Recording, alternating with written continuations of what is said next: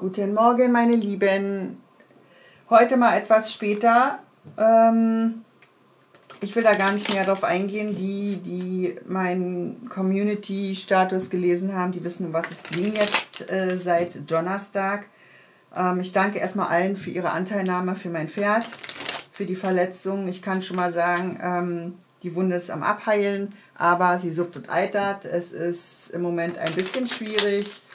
Ähm, Strafanzeige ist gestellt. Ähm, ja, jetzt können wir nur auf, darauf hoffen, dass wir irgendwie dahingehend was in Erfahrung bringen, wer diese Tiere verletzt hat. Und, ähm, aber ich möchte mich ganz herzlich für eure Anteilnahme bedanken und ähm, auch dafür, äh, dass ich mir jetzt ein bisschen Auszeit nehmen musste.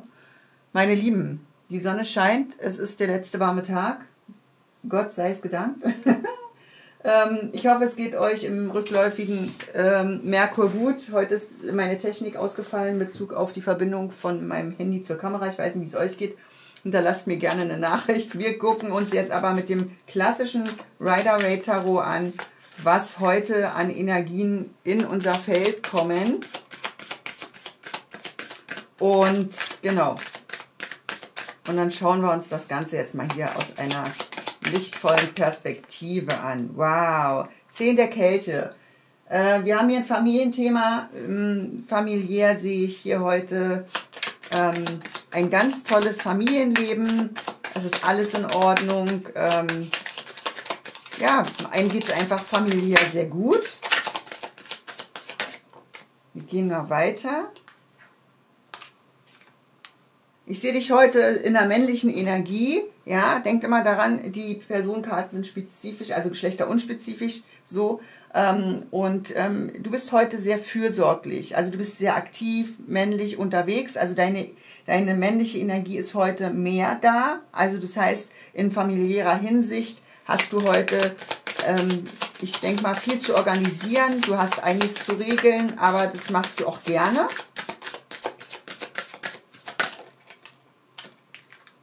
Ja, und zwar hast du heute etwas vor. Du möchtest etwas verändern. Du möchtest einen alten Zyklus verlassen mit deiner Familie und ähm, du möchtest in eine neue Zeit reingehen. Ja, und du hast auch von der Energie bist du heute auch ganz, ganz positiv. Und was ich total schön finde, ist hier heute, dass du hast ein Ziel vor Augen. Ja, die drei der Stäbe ist ein Ziel, was man hat. Man weiß, wo man hin will und das passt wieder mit der Welt, weil man geht gemeinsam. Es kann auch sein, dass der König der Kelche dein Partner ist und dass du gemeinsam mit den Kindern ähm, oder mit deinem ähm, Partner entweder mit den Kindern weitergehst und deinem Partner oder aber ihr habt hier Thema Familienplanung. Also wir haben hier auch liebevolle Gespräche von Herz zu Herz. Wir haben heute ganz, ganz, ganz viel Liebesenergie, ganz viel, ähm, wie soll ich sagen, tolle Gespräche von Herz zu Herz. Und ähm, ich möchte das Ganze jetzt nochmal klären mit ähm, den Lennemore-Karten. Ja, und zwar erfüllst du dir im Bereich der Familie einen Wunsch, was auch immer das in deinem Feld sein mag. Ja, der Stern steht immer für Wunscherfüllung, Träume. Einige werden sicherlich heute erfahren, sie sind in anderen Umständen. Andere haben halt, weiß ich nicht, neue Ziele mit ihrem Partner. Es kommt hier entweder jemand auf dich zu oder du gehst hier heute hoppla hopp auf jemanden zu, dass du sozusagen oder ihr hier in eine neue Zeit geht. Die Welt. Was gibt es hier für die Welt noch an Informationen? Moment. Mhm.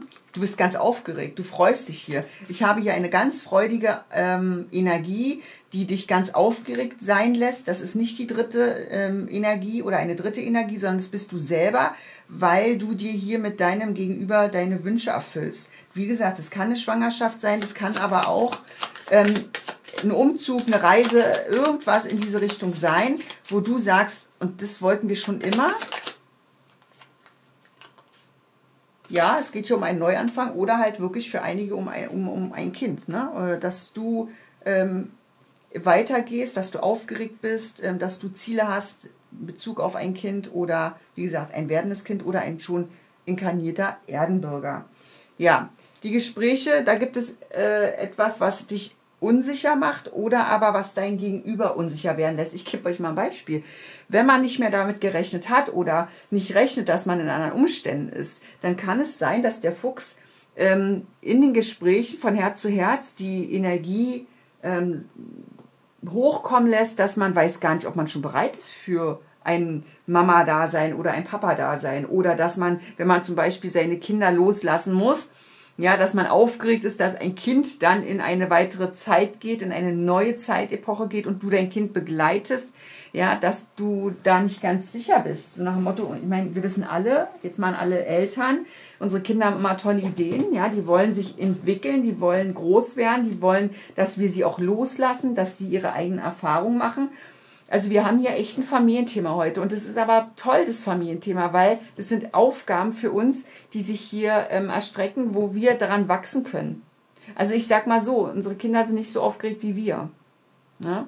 Und wenn du hier etwas hast und sagst, nee, das geht nicht um, um Kinder, sondern einfach um einen Neuanfang, dass vielleicht du, dein Partner, eine Familie darstellen, dann kommt vielleicht auch dein Partner mit, mit einer Idee auf dich zu für einen Neuanfang. Oder vielleicht sagt er zu dir, du pass auf, ich könnte mir vorstellen, mit dir hier Kinder zu kriegen. Oder irgend sowas in der Art könnte hier heute in dein, ähm, in dein Leben kommen. Und das ist eine ganz, ganz tolle Energie. Also Familie, Familie, Familie. Also es ist, ist ein ganz, ganz, ganz lichtvoll, liebevolles und, und mit ganz viel Energie der Liebe behaftetes Thema. Ich möchte gerne für euch nochmal eine Engelherzbotschaft ziehen.